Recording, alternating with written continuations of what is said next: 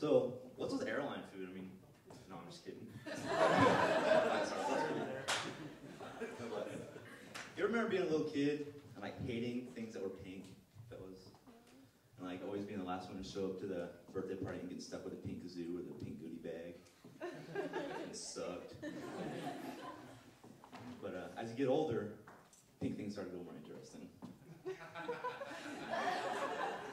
There's only one thing that drive a man crazy, and that is a pink starburst. Pink starbursts are my favorite thing on the face of this planet. I love pink starbursts so much, I buy a starburst and just pick up pink ones and just eat them. That wasn't that funny.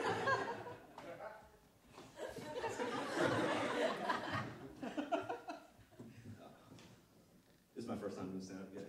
Are you scared?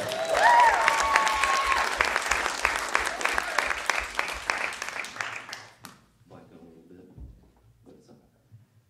And you ever noticed that girls cannot punch?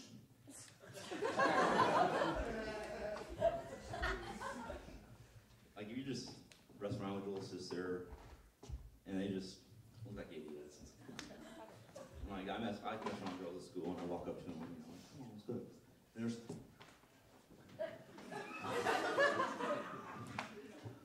Well, all right, I'll back off. Sorry, sorry. But uh, that's about it. I'm Dane Smith.